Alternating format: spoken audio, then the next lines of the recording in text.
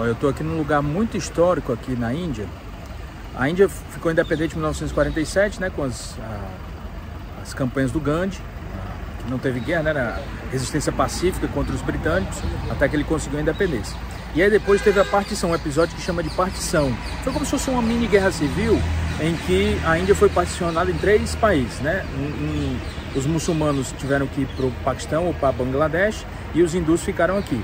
E nesse episódio, um paquistanês eh, que ficou muito triste, chateado com esse negócio, acabou matando o Gandhi. Ele matou o Gandhi aqui. Essa cena pode ser vista no, no filme Gandhi, né? Esse paquistanês com um tiro, o Gandhi morreu nesse lugar aqui. E hoje é um memorial, um memorial do Gandhi, para sinalizar onde foi que ele morreu.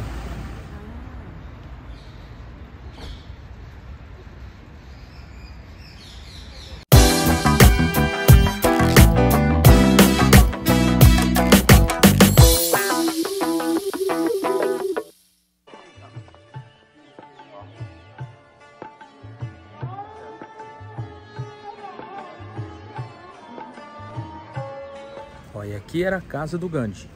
E aqui foi onde ele morreu, né? Ele tinha, ele tinha a, a, o hábito de fazer umas caminhadas matinais. E aí, numa dessas caminhadas, um rapaz paquistanês acabou assassinando ele com um tiro.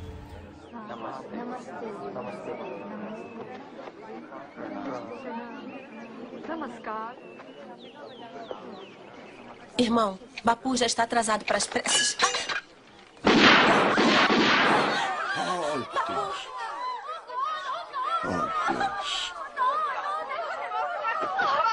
Apa po?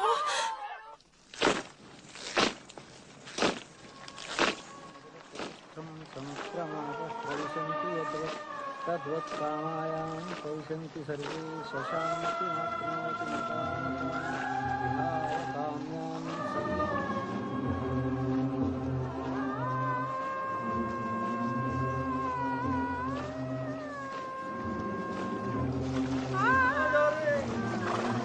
O personagem dessa gigantesca homenagem morreu como viveu. Um homem simples, sem riquezas, sem propriedades, sem título oficial ou cargo oficial. Mahatma Gandhi não foi comandante de exércitos, nem senhor de terras vastas. Não foi responsável por nenhuma façanha científica ou obra de arte. Porém, homens, governos e dignitários de todo o mundo se deram as mãos hoje para prestar uma homenagem a esse franzino homem que levou seu país para a liberdade. Nas palavras de George C. Marshall, o secretário americano de Estado, Mahatma Gandhi tornou-se o porta-voz da consciência de toda a humanidade. Ele foi um homem que fez com que a humildade e a simples verdade fossem mais poderosas que impérios. E Albert Einstein acrescentou: gerações futuras mal acreditarão que alguém assim, de carne e osso, tenha vivido nesse mundo.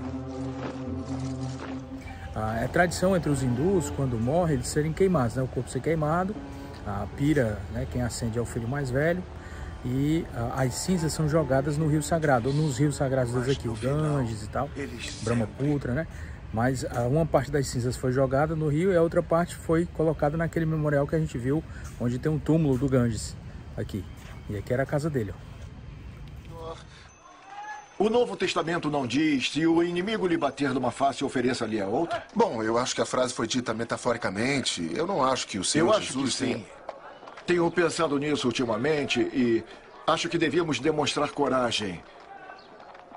Nos colocar à disposição de sofrer um golpe, vários golpes, que não se deve revidar e nem desistir. E quando se revida, isso desperta algo na natureza humana, algo que faz o ódio por você diminuir e o respeito aumentar. Eu acho que Cristo alcançou isso e já vi dar certo. Bom dia.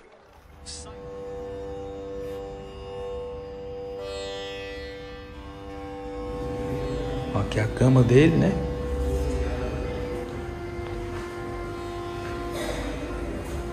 A varinha que ele usava, ó. Chinelo.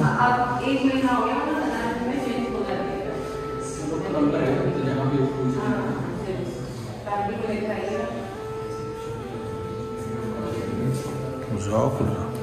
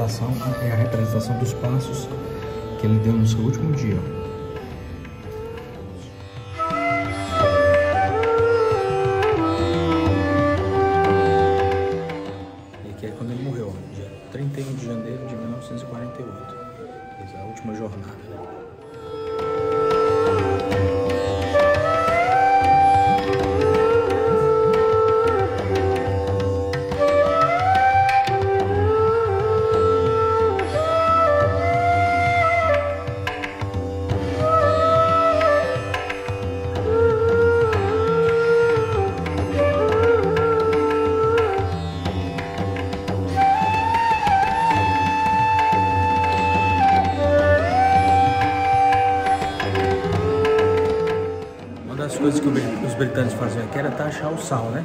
Aí ele fez uma grande jornada, vários seguidores a pé, até o mar, pegou um punhado de água, deixou no sol, esperou evaporar a água, e aí o sal surgiu para provar, mostrar para os britânicos que o sal era uma coisa natural, que não precisava ser taxado, né? Aí ah, mostrando essa grande marcha dele para o mar. E aqui os cajados que ele usava.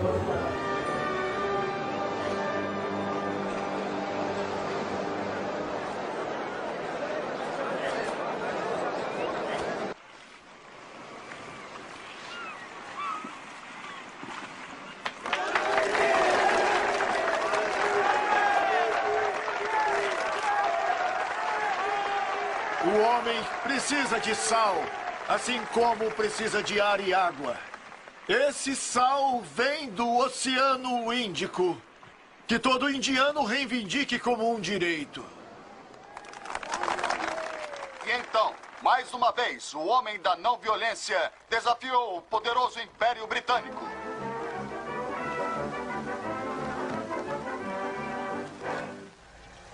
O Gandhi né, foi um dos principais artífices da independência aqui da Índia. E ele era uma pessoa que pregava tipo, a igualdade religiosa, né? Ele, eh, que a Índia tinha que conviver com cristão, com, com sikh, com hindu, muçulmano, né? todas essas religiões aqui. Ah, até por conta disso ele foi assassinado, né? Porque havia pessoas que queriam dividir o país, muçulmanos ir para um lado, cristãos para outro, que eram minoria, né? E os hindus para outro e tal. Ah, e ele também lutou pela igualdade entre os intocáveis, que eram os Dalits, né? Que na Índia tem esse negócio das castas, até hoje tem. Ah, e os Dalits eram ah, os intocáveis, que não podia nem tocar neles. Ah, e o Gandhi também lutou pela igualdade deles com as outras castas. Mas todos chegamos às mesmas conclusões. Nossa Gita, o Alcorão muçulmano, a Bíblia, sempre as coisas simples se destacam. Ama teu próximo como a ti mesmo. Nem sempre é praticado. Mas é algo que nós hindus podemos aprender. Isso não é espiritualismo ou nacionalismo. Estamos resistindo apenas à ideia de que as pessoas não podem viver juntas. Veja, hindus, muçulmanos, sikhs, judeus, até cristãos. Sr. Walker, do New York Times. Como vai? Soube também que o senhor ajuda na preparação da comida e limpeza dos banheiros. Faz parte do experimento? Bah! Precisamos de mais um lugar à mesa para o motorista do Sr. Walker. Avisarei a Sora. Isto é um modo de aprender que o trabalho de um homem é tão importante quanto o do outro. Na verdade, às vezes, limpar o banheiro é muito mais importante do que a lei. Por favor, venha conosco. Coma alguma coisa antes da viagem de volta.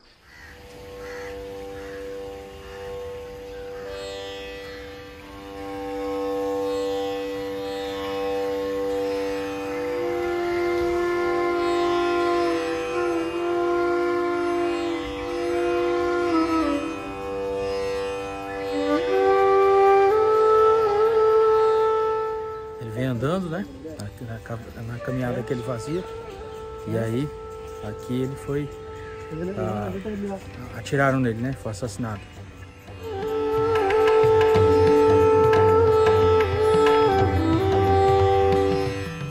Então foi aqui. Em janeiro, 30 de janeiro de 1948. Foi baleado e aí morreu.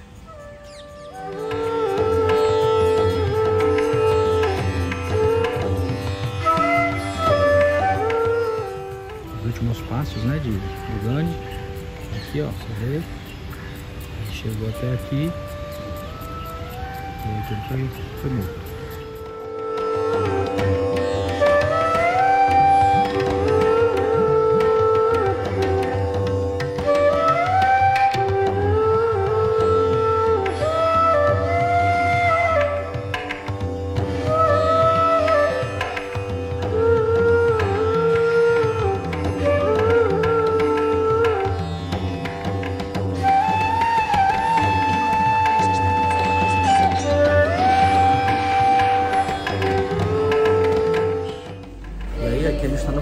Indira Gandhi, que apesar de ter o mesmo sobrenome, não tem relação com o Gandhi não. Ela foi ministra- primeira-ministra aqui em 1967.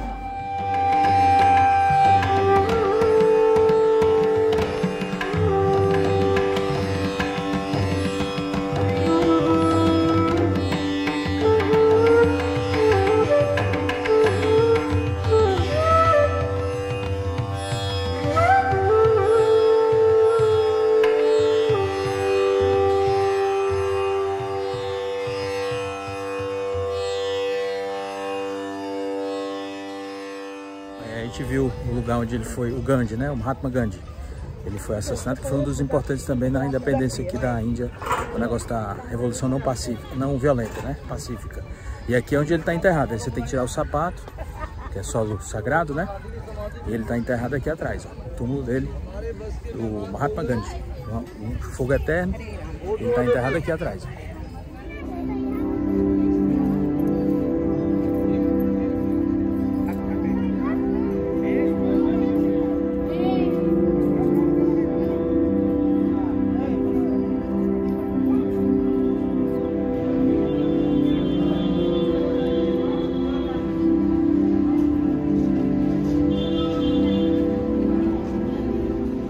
Estátua do Gandhi, ó. Seja a mudança que você quer ver em você mesmo, né? Que ele falava mais. Mahatma. Mahatma significa grande alma, grande ser humano. Ó, ele sempre gosta de decorar os carros, né? Com as coisas aqui, com a bandeira da Índia, com o Ganesha. E aí botam às vezes esse símbolo aqui, ó, que remete o símbolo, a suástica, né? Nazista, mas não é não. Isso aqui é um símbolo do, do hinduísmo. Significa prosperidade. Ó, e aqui nesse museu, justamente um dos prédios britânicos, eles mostram a história da independência deles, né? Que começou mais ou menos em 1920, as primeiras ah, batalhas, as primeiras ideias de independência, que só foi se concretizar em 1947 com o Gandhi. Esse monumento aqui é para mostrar mais de mil indianos que foram mortos no estádio, que estavam lutando pela independência, né? Os britânicos mataram e tal. Houve vários massacres aqui, até que houve a, a- a- a luta da não violência, né? Do Gandhi, e que eles conquistaram a independência em 1947.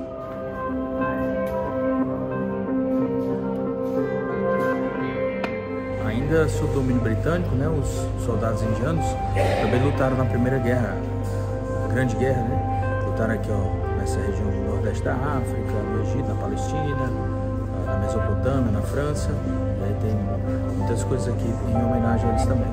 Aqui o mapa da Índia, né? Era grande, né? Com Bangladesh aqui tem os dois rios ah, importantes aqui, né? Que é o Rio Ganges e o Rio Brahmaputra, que vem daqui, ó. Esse aqui é o Brahmaputra e aqui o Ganges. Aqui, hoje é o Bangladesh, essa região aqui, né? E aqui a região do Paquistão. A Índia tem atualmente 26 estados, né? Cada estado fala uma língua diferente. E às vezes essas línguas são muito diferentes uma das outras. No sul, lá em Tamil Nadu, eles falam Tamil, né? Ah, e o que unificou, o legado dos britânicos aqui foi a língua, o inglês, que é a língua que unifica basicamente o país, e as ferrovias, né? Que foram que os ingleses deixaram aqui. Esse museu aqui é em homenagem a esse cara aqui, ó, o Subhas Chandra Bose, que foi o fundador do exército indiano e um dos heróis da independência deles aqui, que era a espada dele, ó, que ele usava e tal. Interessante, viu? Aqui é a patente, ó, INA, aqui ó, INA, significa Indian National Army, Exército Nacional Indiano, que foi o exército que foi responsável pela independência, né, junto com a, com a guerra de não violência do, do Gandhi, né. Coisa interessante, é a bandeira original da Índia, né, depois da independência, as cores, e o TA. O TA por quê? Porque o algodão foi um dos produtos que era sobretaxado. Que nem o chá nos Estados Unidos, teve a Tea Party, né, a revolta do chá, lá em Boston, aqui teve a revolta do algodão e a revolta do sal, que eram produtos que eram taxados, muito taxados pelos britânicos. Então, por isso que na bandeira tinha esse TA, hoje em dia tiraram essa parte aqui, é só essa parte aqui do TA. Aqui as bandeiras originais, né? Essas três cores aqui, o verde significa agricultura, o branco a paz, a busca pela paz, e o laranja, que é a cor sagrada dos, dos religiosos deles aqui, né? Do, você vê que o, é, os, o, os religiosos usam essa cor laranja aqui como uma forma de sagrado.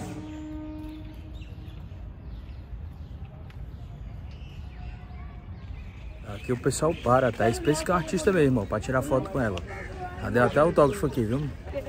Isso que é artista. Ali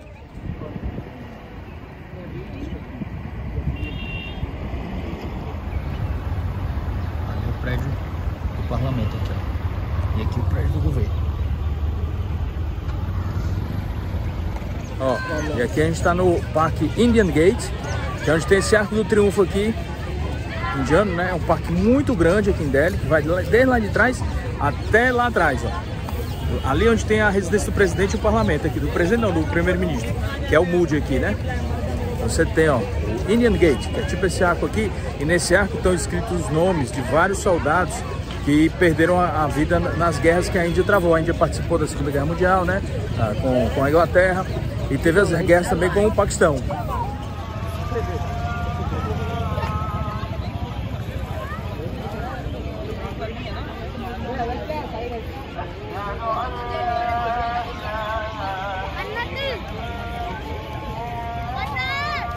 Aqui perto tem uma mesquita, ó, aí dá 6 horas, aí começa a... Eles têm que rezar, os muçulmanos, né, cinco vezes por dia, né? Então essa é, é a oração da noite, quando o sol se põe. Aí quando dá de noite já acende as luzes aqui com as cores da bandeira da Índia, né? Que é o laranja, o branco e o verde. As cores da Índia aqui. Não, doutora? Tudo bem.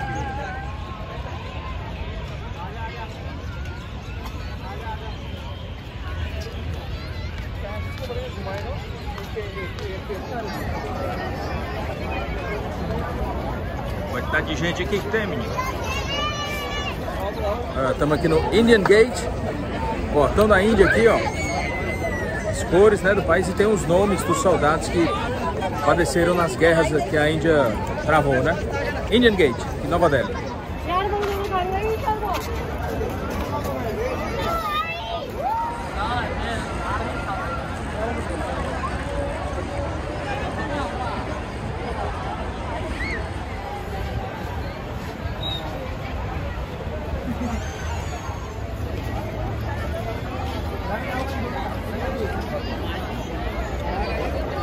Dora.